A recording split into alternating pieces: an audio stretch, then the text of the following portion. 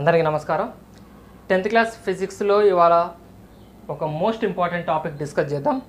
జనరేటర్స్లో AC generator already నేను upload చేశాను.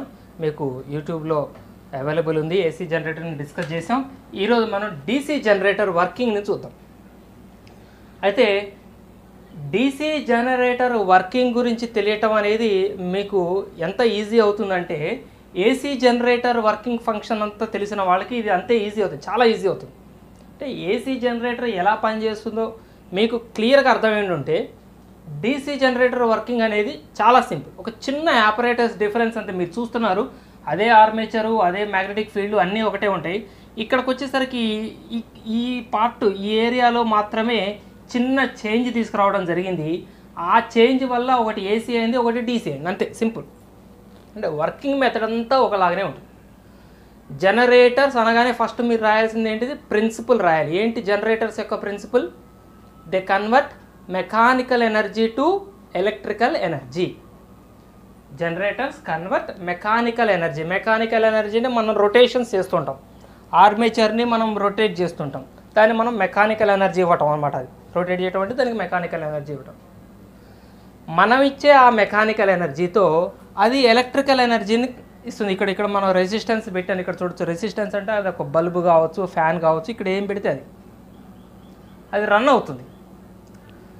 So అలా ఎలక్ట్రికల్ ఎనర్జీగా కన్వర్ట్ అవుతుంది. మెకానికల్ ఎనర్జీ అది ఇక్కడైనా ఏసీలో అయినా డీసీలో అయినా. ఇది బేసిక్ ప్రిన్సిపల్ జనరేటర్ సరే ఒక్కసారి ఏసీ జనరేటర్లో మనం ఒక్కసారి దీన్ని డిస్కస్ చేసుకోవద్దు ఇక్కడ ఏం జరుగుతుంది? ఎందుకు దీన్ని ఆల్టర్నేట్ కరెంట్ అన్నామంటే ఒక హాఫ్ రొటేషన్లో కరెంటు రెసిస్టర్లో ఇలా పైనుంచి కిందకు వస్తుంది. ఇంకొక హాఫ్ రొటేషన్లో కరెంటు కింద నుంచి పైకి పోతుంది. అంటే ఒక హాఫ్ రొటేషన్ ఇలా పోతుంది ఇంకో హాఫ్ రొటేషన్ ఇలా పోతుంది. మళ్ళీ హాఫ్ రొటేషన్ ఇలా పోతుంది మళ్ళీ హాఫ్ రొటేషన్ ఇలా పోతుంది. అంటే ఆల్టర్నేటింగ్ కరెంట్ అంటారు అదే. ప్రతి పీరియాడికల్గా పీరియాడికల్గా తన డైరెక్షన్ని చేంజ్ చేసుకునే కరెంట్ని మనం ఆల్టర్నేటింగ్ కరెంట్ అంటాం. అందుకని ఇది ఆల్టర్నేటింగ్ కరెంట్ అయింది. ఇక్కడ అలా కాదు. ఒకటే డైరెక్షన్లో కరెంటు తిరుగుతూనే ఉంటుంది. ఈ లోడ్ నుంచి వన్ డైరెక్షన్లోని యూని డైరెక్షన్ అంటాం మనం దాన్ని. యూని డైరెక్షన్లో పోతుంది కాబట్టి కరెంట్ ఇక్కడ ప్రొడ్యూస్ అయ్యే కరెంట్ మనం డీసీ కరెంట్ అంటాం. దీన్ని డీసీ జనరేటర్ అంటాం. ఓకేనా? రైట్ ఈ వర్కింగ్ ఫంక్షన్ ఒకసారి చూడండి. మీకు నేను ప్రాక్టికల్గా చూస్తాను. మనం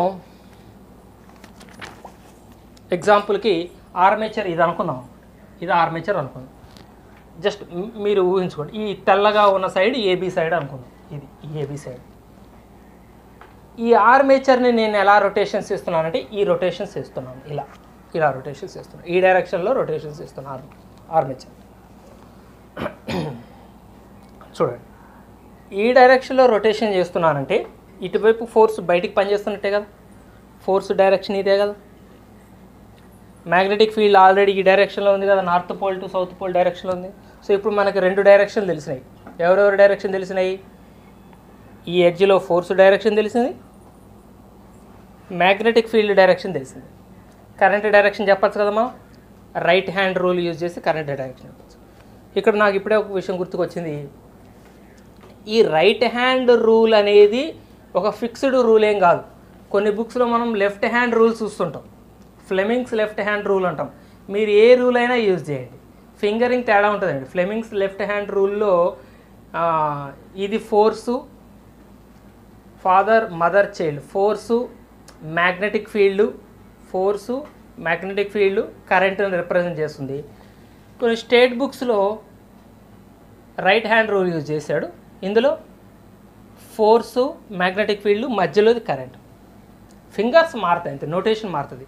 ఫైనల్గా రెండు నోటేషన్స్లో మనకి కరెంట్ సేమ్ డైరెక్షన్లోనే వస్తుంది కాబట్టి ఇప్పుడు మనం ఒకసారి ఇక్కడ చూద్దాం ప్రాక్టికల్గా చేసి చూద్దాం. సో దీని విషయంలో చూద్దాం. ఇప్పుడు చెప్పండి ఈ ఎడ్జ్లో ఫోర్స్ ఇటు పనిచేస్తుంది బయటికి పనిచేస్తుంది. అంటే ఫోర్స్ అంటే తంబు. తంబు ఇలా బయటికి పెట్టాలి. మ్యాగ్నెటిక్ ఫీల్డ్ ఈ డైరెక్షన్లో పనిచేస్తుంది. ఇప్పుడు చూడండి నేను కరెక్టే పెట్టాను అనుకుంటా కదా? ఫోర్స్ ఇలా బయటికి పనిచేస్తుంది మ్యాగ్నెటిక్ ఫీల్డ్ ఇలా పనిచేస్తుంది. అంటే కరెంట్ నా ఈ indicating finger indicator finger current ఏ డైరెక్షన్లో పోతుంది? కిందకు వస్తుంది. సో ఈ ఎడ్జ్లో కరెంటు ఇటు వస్తుంది. గుర్తుపెట్టుకోండి ఇటువైపు ఉన్న ఎడ్జ్లో కరెంట్ ఎప్పుడు కిందకి వస్తుంది? అంటే ఇప్పుడు ఫర్ ఎగ్జాంపుల్ ఈ ఎడ్జ్ వచ్చింది అనుకోండి ఇప్పుడు హాఫ్ రొటేషన్ తర్వాత ఇది ఇటు పోతుంది ఇటు వస్తుంది కదా? ఇందులో కూడా కరెంట్ కిందకే వస్తుంది. మళ్ళీ ఇటు వచ్చినప్పుడు ఇందులో కూడా కరెంట్. సో ఇటువైపు ఉన్న దాంట్లో కరెంట్ ఎప్పుడు కిందకే పనిచేస్తుందని ఇప్పుడు అర్థం చేసుకోండి. సో ఇది గుర్తుంది కదా? సో ఇక్కడ ఏబీలో కరెంటు కిందకి పనిచేస్తుంది. కిందకి పనిచేసి ఎటు వస్తుంది? ఏబీ ఏబీలోంచి ఇలా వచ్చి ఈ రింగుకు తగిలి ఈ రింగ్లోంచి ఈ బ్రష్లోంచి ఇలా కిందకు వస్తుంది. ఇలా ఉంది. హాఫ్ రొటేషన్ తర్వాత ఇప్పుడు సీడీ ఇటు వచ్చింది. ఇటు ఇది సీడీ ఇప్పుడు ఇటు వచ్చింది. సీడీలో కూడా కిందకే కదా కరెంట్ వస్తుంది. ఇటువైపు వచ్చేవాటన్నిటికీ కరెంట్ కిందకే వస్తుంది. సో సీడీలోంచి కిందకు వస్తుంది. అంటే సీడీ ఇక్కడ డ్రా డ్రా చేస్తున్నాం సెపరేట్గా. సీడీ ఇటు వస్తుంది. ఏబీ ఇటు వస్తుంది. గుర్తుపెట్టుకోండి వీళ్ళిద్దరూ టచ్ అయిన రింగులు మాత్రం మారం సీడీ ఇక్కడ రెండు రింగులు ఉన్నాయి కదా? ఈ పైన రింగులో అంటే ఫస్ట్ రింగులో ఏబీ టచ్ అయి ఉంటుంది. ఈ రింగ్ లోపల నుంచి టచ్ కాకుండా ఇది ఈ రింగ్. ఇలా. ఇప్పుడు చెప్పండి సీడీ ఇటు వచ్చింది. ఫస్ట్ ఇది సీడీ ఇప్పుడు ఇటు వచ్చింది. సీడీలో కూడా కరెంట్ కిందకి వస్తుంది కదా? సో సీడీలోంచి కరెంట్ కిందకి వస్తుంది. ఇలా వచ్చి ఇలా వచ్చి ఇలా వచ్చి ఈ రింగ్లోకి వచ్చి ఈ రింగ్ నుంచి బ్రష్ నుంచి ఇటు పైకి వస్తుంది. సో హాఫ్ రొటేషన్ తర్వాత పైకి మళ్ళీ హాఫ్ రొటేషన్ తర్వాత కిందకి. ఇలా పైకి కిందకి మారుతూ ఉండటం అనేది ఆల్టర్నేటింగ్ కరెంట్లో చూసాం ఆ ఒక్క అరేంజ్మెంట్ ఇక్కడ చేంజ్ జరిగిందండి. ఇక్కడ కూడా ఎగ్జాక్ట్గా అదే ఫంక్షన్ జరుగుతుంది. సో ఇక్కడికి వద్దాం ఇప్పుడు ఇక్కడికి వచ్చిన తర్వాత చూడండి. ఇటు చూడండి. ఈ బిఏనేమో ఇక్కడ రెండు స్లిట్ రింగ్స్ ఉన్నాయి. ఎస్ వన్ ఎస్ టూ అని రెండు స్లిట్ రింగ్స్ ఉంటాయి. ఏబి ఏమో ఎస్ వన్ని సిడి ఏమో ఎస్ టూని ఫిక్స్ అయి ఉంటుంది. సో ఎస్ టూ అనే స్లిట్ రింగ్కి ఇదేమో ఎస్ వన్ అనే స్లిట్ రింగ్కి ఎస్ వన్ ఏమో బీ వన్ అనే బ్రష్కి బీ వన్ నుంచి వైరు ఒక లోడ్. ఇది లోడ్ అంటాం. మనం లోడ్ ఏదైనా కావచ్చు బల్బు కావచ్చు ఫ్యాన్ కావచ్చు జస్ట్ రెసిస్టెన్స్ బొమ్మ గీస్తాం అంతే. అంటే ఈ బొమ్మ గీసామంటే అక్కడ ఏదో లోడ్ పెట్టాము బల్బో ఫ్యాన్ ఏదో వాడతాను అని అర్థం. సో ఇందులోంచి మళ్ళీ బీ టూలోకి బీ టూలోంచి ఎస్ టూలోకి ఎస్ టూలోంచి మళ్ళీ ఇది. సో ఇక్కడ చూడండి ఇక్కడ రొటేషన్స్ చేస్తున్నప్పుడు అంటే ఇది హాఫ్ రొటేషన్ తర్వాత బి ఆడిపోతుంది సిడి ఇటు వస్తుంది కదా. హాఫ్ రొటేషన్ తర్వాత సేమ్ ఎగ్జాంపుల్ తీసుకుంది ఇది బిఏ ఇది సిడి అనుకోండి. హాఫ్ రొటేషన్ తర్వాత అప్పుడు ఈ రెండు స్లిప్ రింగ్స్ కూడా షిఫ్ట్ అవుతాయి. అంటే ఇది కూడా రొటేట్ అవుతుంది. యాక్చువల్గా ఇట్లా ఇట్లా ఉంటుంది యాక్చువల్గా ఇలా ఉంటుంది. ఇది ఇలా ఉంది కదా. ఇలా ఉంటాయి. రింగ్స్ ఇలా ఉంటాయి. ఇలా ఉండవు. మీకు కనపడుతున్నట్టు ఫ్రంట్ ఫేసింగ్ ఉండవు. ఇలా కిందకి. రింగులు ఇలా కిందకు ఉంటాయి ఇక్కడ రింగులు ఊహించుకోండి. ఇది ఆర్మేచరు ఇది యాక్చువల్గా ఇట్లా కిందకు ఉంటుంది ఇట్లా. సో ఇది ఇలా రొటేట్ అవుతే ఇది కింద రింగ్ కూడా రొటేట్ అవుతుంటుంది. కింద ఉన్న ఈ రింగ్స్ కూడా రిట రొటేట్ అవుతుంది. సో రొటేట్ అయ్యి ఎస్ టూ ఇటు ఎస్ వన్ అటు వస్తుంది. మళ్ళీ హాఫ్ రొటేషన్ తర్వాత ఏ బీట్ e వస్తుంది కదా. ఇది హాఫ్ రొటేషన్ మళ్ళీ హాఫ్ రొటేషన్ మళ్ళీ ఏబీ ఇటు e వచ్చేసింది కదా. అంటే కింద రింగులు కూడా అట్నే వచ్చేస్తుంటాయి. దీనివల్ల మనకు జరిగిన ప్రయోజనం ఏంటంటే మీకేం చెప్పాను నేను? ఇక్కడ కూడా అంతే. మనం ఇలానే రొటేషన్ చేస్తున్నాం అంటే అర్థం ఏంటి? ఫోర్స్ బయటికి పనిచేస్తుంది. ఫోర్స్ బయటికి పనిచేస్తుంది మ్యాగ్నెటిక్ ఫీల్డ్ ఇటు ఉంది. అంటే కరెంట్ కిందకు వస్తుంది. ఈ ఎడ్జ్లో కరెంట్ కిందకు వస్తుంది. ఇటు ఏబీ ఉన్నా ఇటు సిడి ఉన్నా కరెంట్ కిందకి వస్తుంది. ఎందుకంటే ఫోర్స్ ఎప్పుడు ఇటు మ్యాగ్నెటిక్ ఫీల్డ్ ఇటు ఉంది కూడా కరెంట్ సో ఇప్పుడు చూడండి. ఏబీ నుంచి కరెంట్ ఎందులోకి వస్తుంది? ఎందులోకి వస్తుంది? ఎందులోకి వస్తుంది? ఎందులోకి వస్తుంది? ఎస్ వన్లోకి వస్తుంది. ఎస్ వన్ అనే రింగ్ కానుకొని బ్రష్లోకి వస్తుంది. బ్రష్ నుంచి ఇలా పోతుంది. Half rotation half rotation. ఇంకొక హాఫ్ రొటేషన్ తర్వాత సీడీలా వస్తుంది. సీడీ ఇటు వస్తుంది. సీడీ ఇటు వచ్చినప్పుడు కూడా కరెంట్ కిందకేగా పనిచేసేది? సీడీ ఇటు వచ్చినప్పుడు దీని డయాగ్రామ్ కూడా వేస్తాను నేను మీకు. డస్టర్ క్లాత్ ఎక్కడో పెట్టా నేను. ఒక్క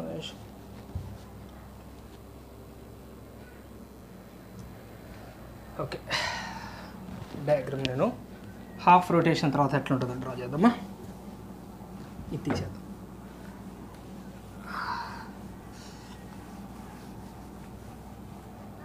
హాఫ్ రొటేషన్ తర్వాత సిడి ఇటు వస్తుంది బిఏ ఇటు వస్తుంది బిఏ నుంచి స్లిటరింగ్ ఎస్ టూ ఇటు ఎస్ వన్ బ్రషెస్. లోడ్. ఇదే కదా ఇప్పుడు? ఇప్పుడు చూడండి సీడీ ఇటువైపు వచ్చినప్పుడు అంటే బిఏ ఇటు వచ్చినప్పుడు కరెంట్ కిందకు ఉంటుంది అన్నాం. సీడీ వచ్చినప్పుడు కూడా కరెంట్ కిందకి వస్తుంది. సో సీడీ వచ్చినప్పుడు కరెంట్ కిందకు వస్తుంది ఇలా వస్తుంది ఇలా వస్తుంది ఎందులోకి పోతుంది? ఎస్ టూలోకి ఎస్ టూలోకి పోయి ఎస్ టూ నుంచి బ్రష్లోకి పోయి ఇక్కడ బ్రష్లు మారవు బ్రష్లు షిఫ్ట్ అవ్వవు. బ్రష్లోకి పోయి బ్రష్లో నుంచి మళ్ళీ ఇదే డైరెక్షన్ చూడండి ఇదే డైరెక్షన్లో ఇదే డైరెక్షన్లో వచ్చింది కరెంట్ అంటే ఎన్ని రొటేషన్స్ చేస్తున్నా కరెంట్ ఎప్పుడు కిందకి? కిందకి వచ్చిన కరెంట్ ఎప్పుడు కూడా ఇటువైపు బ్రష్లోకే పోతుంది. అది ఎస్ వన్ కానివ్వండి ఎస్ టూఏ కానివ్వండి.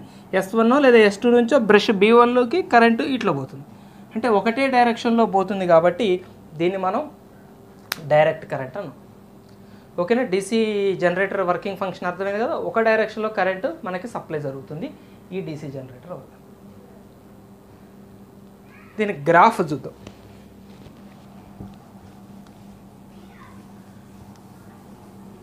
గ్రాఫ్లో మనం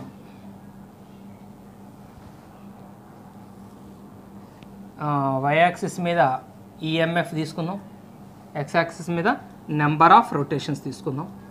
నెంబర్ ఆఫ్ రొటేషన్స్ తీసుకుంటే స్టార్టింగ్ ఈఎంఎఫ్ ఏం లేదు. ఈఎంఎఫ్ తర్వాత ఏమవుతుంది? ఒక మ్యాక్సిమం రీచ్ అవుతుంది. రీచ్ అయ్యి మళ్ళీ జీరోకి వచ్చేస్తుంది. జీరోకి వచ్చేస్తుంది. మళ్ళీ సేమ్ డైరెక్షన్ కరెంట్ యొక్క డైరెక్షన్ మారదు కదా. ఆల్టర్నేట్ కరెంట్ ఏసీ జనరేటర్లో మనం గ్రాఫ్ ఇక్కడ కిందకి గీసాం. చూడండి ఇది ఏమో వన్ బై ఫోర్త్ రొటేషన్ ఇక్కడ నుంచి మ్యాక్సిమంకి రీచ్ అవ్వటం అనేది వన్ బై ఫోర్త్ రొటేషన్ మళ్ళీ జీరోకి వచ్చింది అంటే ఇప్పుడు ఎన్ని రొటేషన్స్ చేసినట్టు? Half rotation armature half rotation చేసినట్టు. మళ్ళీ ఇంకొక హాఫ్ రొటేషన్ స్టార్ట్ చేస్తుంది కదా మళ్ళీ ఈఎంఎఫ్ మ్యాక్సిమం వెళ్తుంది. మళ్ళీ జీరోకి వచ్చేస్తుంది. సో ఇలా ఒకే డైరెక్షన్లో కరెంటు సప్లై జరుగుతుంది. దీన్ని మనం డీసీ జనరేటర్ అంటాం డీసీ కరెంట్ అంటాం. ఈ మ్యాక్సిమం వెళ్ళటం ఏంటి? జీరోకి రావటం ఏంటి అన్నది మీకు ఇప్పుడు నేను డీటెయిల్ చెప్తాను. చూడండి ఇమాజిన్ చూడండి ఫస్ట్ ఆర్మేచర్ ఇలా ఉందండి. ఇది మ్యాగ్నెటిక్ ఫీల్డ్ ఫీల్డ్ లైన్స్ ఇలా పోతున్నాయి. మంచిగా స్టార్టింగ్ ఫస్ట్ ఫస్ట్ పొజిషన్ మనం ఇది అనుకున్నాం ఓకేనా సో ఒక పది లైన్లు ఇందులోంచి పోతున్నాయి అనుకోండి. ఎన్ని? పది లైన్లు పోతున్నాయి అనుకోండి. కౌంటర్ రెడీ పెట్టుకోండి. ఇప్పుడు మనం దీన్ని రొటేషన్ స్టార్ట్ చేసాం అంతే కదా మనం? రొటేషన్స్ చేస్తుంది ఇట్లానే కదా? సో ఇటు నుంచి ఎటు నుంచి ఇక్కడ నుంచి స్టార్ట్ చేసి ఇక్కడ నుంచి స్టార్ట్ చేసి ఏదైనా స్టార్ట్ చేసి. ఇప్పుడు నేను మీకు టెక్స్ట్ బుక్ ప్రకారం ఉండాలి కాబట్టి చెప్తున్నాను. సో పది లైన్లు పోతున్నాయి అనుకోండి. సో స్టార్టింగ్లో కరెంట్ లేదు. ఎందుకంటే ఫ్లెక్స్ చేంజ్ అయితే కదా మనం కరెంట్ ఇండ్యూస్ అయ్యేది. ఫ్యారడే లా ప్రకారం when there is a continuous change in magnetic flux current is induced EMF is induced so ఇప్పుడు మనం ఏం చేస్తున్నాం? దీన్ని ఇలా రొటేట్ చేస్తున్నాం. ఇలా రొటేట్ చేస్తున్నప్పుడు ఏమవుతుంది చెప్పండి? ఈ పది లైన్లు పోవు. ఇలా ఉన్నప్పుడు అడ్డంగా ఉంటే మ్యాక్సిమం పది లైన్లు పోతాయి. మ్యాక్సిమం పది లైన్లు పోతాయి. ఇది సైడ్కి అయిపోతుంది కదా. సైడ్కి అయిపోతే ఏమవుతాయి కొన్ని లైన్లు మిస్ అవుతాయి. ఈ బుక్ ముందు నుంచి కొన్ని లైన్లు బుక్ వెనక నుంచి కొన్ని లైన్లు మిస్ అవుతాయి. అంటే బుక్ మధ్యలోంచి పోయే లైన్లు పది నుంచి ఏడుకు ఎనిమిది ఏడు అట్లా తగ్గుతూ ఉంటుంది. తగ్గుతూ తగ్గుతూ తగ్గుతూ తగ్గుతూ తగ్గుతూ ఇగో ఇలా వచ్చేసింది నోట్స్ అడ్డంగా వచ్చేసింది. స్టార్టింగ్ ఇలా ఉంది కదా? నోట్స్ అడ్డం వచ్చేసింది. ఎంత రొటేషన్ చేసింది ఇది? వన్ బై ఫోర్త్ రొటేషన్ అంతే కదా? పావు రొటేషన్ జరిగింది. ఇలా ఉందనుకోండి బు- ఈ తెల్లది మీ వైపు ఉంది కదా? తెల్లది నా వైపు వస్తే హాఫ్ రొటేషన్ మళ్ళీ తెల్లది మీ వైపు వస్తే ఫుల్ రొటేషన్ కంప్లీట్ రొటేషన్ అంటాం. ఇప్పుడు నేను చూపించింది మీకు ఫోర్త్ వన్ బై ఫోర్త్ పావు రొటేషన్ ఇప్పుడు చెప్పండి మ్యాగ్నెటిక్ లైన్స్ ఆఫ్ ఫోర్స్ ఏమైనా పోతాయి నోట్స్లోంచి పోవు. స్టార్టింగ్ ఎంత పోయినాయి? టెన్ పోయినాయి. ఇప్పుడు ఎంత పోతున్నాయి? జీరో టెన్కి జీరోకి డిఫరెన్స్ ఎంత? డిఫరెన్స్ ఎంత? టెన్. అంతే కదా? టెన్ కదా? మ్యాక్సిమం చేంజ్ ఉంది కదా? ఇప్పుడు ఫస్ట్ టెన్. మంచిగానే టెన్. ఇప్పుడు నైన్. నైనే పోతున్నాయి. చేంజ్ ఎంత? టెన్కి నైన్కి డిఫరెన్స్ ఎంత? One. Change in the flux ఎంత? ఇప్పుడు ఫ్లెక్స్ టెన్. ఇప్పుడు నైన్. అంటే చేంజ్ ఇన్ ద ఫ్లెక్స్ ఎంత? నైన్. వన్. టెన్. ఇప్పుడు నైన్ పోతున్నాయి. Change one. ఇప్పుడు ఎయిటే పోతున్నాయి. అంటే చేంజ్ ఎంత వచ్చింది? టూ. చేంజ్ పెరుగుతుంది మీరు గమనించండి. ఇప్పుడు సిక్స్ పోతున్నాయి. ఇప్పుడు సిక్సే పోతున్నాయి. స్టార్టింగ్తో ఉన్న దాంతో పోలిస్తే ఇప్పుడు సిక్స్ పోతున్నాయి. అంటే చేంజ్ ఎంత వచ్చింది? ఎన్ని నెంబర్ ఎన్ని ఫీల్డ్ లైన్స్ తగ్గినాయి. ఫోర్ తగ్గినాయి. ఇప్పుడు త్రీ మూడు లైన్లే పోతున్నాయి. స్టార్టింగ్ టెన్ ఇప్పుడు త్రీ అంటే ఎంత చేంజ్? సెవెన్ ఫీల్డ్ లైన్స్ తగ్గినాయి. అంటే ఫ్లెక్స్ చేంజ్ అవుతుంది కదా. చేంజ్ పెరుగుతుంది. మీరు గమనించండి ఇక్కడ చేంజ్ పెరుగుతుంది. ఫస్ట్ ఒక లైనే మిస్ అయింది. తర్వాత రెండు లైన్లు మిస్ అయినాయి. తర్వాత మూడు లైన్లు మిస్ అయినాయి. ఈ చేంజ్ అనేది పెరుగుతుంది. మిస్ అవుతున్న లైన్లు పెరుగుతున్నాయి. ఫ్లెక్స్ ఎంత పెరుగు చేంజ్ ఎంత పెరుగుతుంటే ఫ్లెక్స్ ఫ్లెక్స్లో చేంజ్ ఎంత పెరుగుతుంటే అంత ఈఎంఎఫ్ పెరుగుతుంది. అందుకనే వన్ బై ఫోర్త్ ఇప్పుడంతా జీరో ఏ లైన్స్ పోవట్లేదు. అంటే చేంజ్ ఎంత? స్టార్టింగ్ పది ఇప్పుడు జీరో అంటే చేంజ్ ఎంత డిఫరెన్స్ ఎంత? టెన్ అంటే ఫ్లెక్స్ ఎంత వచ్చింది? మ్యాక్సిమం డిఫరెన్స్కి వచ్చేసింది కదా. అప్పుడు వన్ బై ఫోర్త్ రొటేషన్ అంటే ఇక్కడ నుంచి ఇక్కడికి one by fourth rotation one by fourth రొటేషన్కి current maximum reach అయింది. ఎందుకు మ్యాక్సిమం రీచ్ అయింది? ఫ్లెక్స్లో చేంజ్ మ్యాక్సిమం వచ్చింది కాబట్టి. ఇప్పుడు ఇది క్వార్టర్ రొటేషన్ వచ్చేసాం కదా. క్వార్టర్ తర్వాత మళ్ళీ రొటేషన్ కంటిన్యూ అవుతుంది అనుకుందాం. అంటే కంటిన్యూ రొటేషన్ అవుతుంది అంటే అర్థం ఏంటి? ఇప్పుడు మళ్ళీ ఫీల్డ్ లైన్స్ లోపలికి దూరడం స్టార్ట్ చేస్తున్నాయి. స్టార్టింగ్ స్టార్టింగ్ ఎన్ని పోయినాయి? పది పోయినాయి. ఇక్కడ ఉండేసరికి జీరో ఇప్పుడు మళ్ళీ ఒక మూడు పోతున్నాయి అనుకోండి. చేంజ్ ఎంత? స్టార్టింగ్కి ఇప్పటికి చేంజ్ ఎంత? సెవెన్ కొంచెం అడ్డంగా తిరిగింది. ఇప్పుడు ఒక సిక్స్ పోతున్నాయి. స్టార్టింగ్ టెన్ ఇప్పుడు సిక్స్ చేంజ్ ఎంత? ఫోర్ తగ్గుతుంది కదా చేంజ్ తగ్గుతుంది చూడండి సెవెన్ ఫోర్ ఇప్పుడు నైన్ పోతున్నాయి. స్టార్టింగ్ టెన్ చేంజ్ ఎంత వన్ చేంజ్ తగ్గింది కదా. అంటే ఫ్లెక్స్లో చేంజ్ తగ్గుతుంది. ఫ్లెక్స్లో చేంజ్ తగ్గితే ఈఎంఎఫ్ కూడా తగ్గుతుంది. అందుకనే first quarter rotation next quarter rotation next quarter రొటేషన్కి EMF తగ్గుతూ తగ్గుతూ తగ్గుతూ జీరోకి వచ్చేసింది. ఎందుకు? ఇప్పుడు కంప్లీట్గా నా తెల్లగా ఉండాల్సిన భాగం ఇప్పుడు నా వైపు వచ్చేసిందంటే ఇప్పుడు ఎన్ని లైన్స్ పోతున్నాయి? టెన్కి టెన్ పోతున్నాయి. స్టార్టింగ్ ఎన్ని పోయినాయి? టెన్ పోయింది. ఇప్పుడు ఎన్ని పోతున్నాయి? టెన్ పోతున్నాయి. అంటే డిఫరెన్స్ ఏముంది? ఏం లేదు. ఫ్లెక్స్లో చేంజ్ లేదు. కరెంట్ లేదు. అందుకని కరెంట్ జీరో వచ్చింది. మళ్ళీ క్వార్టర్ రొటేషన్. మళ్ళీ చేంజ్ పెరుగుతుంటుంది ఈఎంఎఫ్ పెరుగుతుంటుంది. కంప్లీట్ రొటేషన్ మీ వైపు వచ్చేసింది. మళ్ళీ ఈఎంఎఫ్ అంటే ఇక్కడికి వచ్చేసరికి ఒక కంప్లీట్ రొటేషన్. ఇది వన్ బై ఫోరు ఇది సగం ఇది మూడు బై నాలుగు ఇది ఒకటి. అట్లా అనమాట మీరు సింపుల్ గుర్తుపెట్టుకోండి. స్టార్టింగ్ పది పోయినాయి. మీరు ఏ పొజిషన్లోనైనా పెట్టుకోండి. ఇప్పుడు ఎన్ని పోతున్నాయి? ఆరు పోతున్నాయా? అంటే చేంజ్ ఎంత స్టార్టింగ్కి ఇప్పుడు ఆరు పోతున్నాయి కాబట్టి చేంజ్ ఎంత నాలుగు చేంజ్. ఈ చేంజ్ అనేది పెరుగుతుంటే కరెంట్ పెరుగుతుంటుంది. ఈ చేంజ్ అనేది తగ్గుతుంటే కరెంట్ తగ్గుతుంటుంది. సింపుల్ విషయం గుర్తుపెట్టుకోండి. చేంజ్ పెరగటం కరెంట్ పెరగటం. చేంజ్ తగ్గటం కరెంట్ తగ్గటం. కంప్లీట్గా ఇది అడ్డంగా వచ్చేసింది అనుకోండి. ఇప్పుడు జీరో పోతున్నాయి. మనకి ఇందులోకి ఎన్ని పోతున్నాయి అనేది కావాల్సింది. చేంజ్ ఎంత? Starting ten. ఇప్పుడు జీరో. చేంజ్ ఎంత? టెన్. డిఫరెన్స్ ఎంత? టెన్. మ్యాక్సిమం కరెంట్ పోతుంది. సో ఇది డీసీ జనరేటర్ యొక్క వర్కింగ్ ఫంక్షన్. ఓకేనా? బాబాయ్ బాయ్. Thank you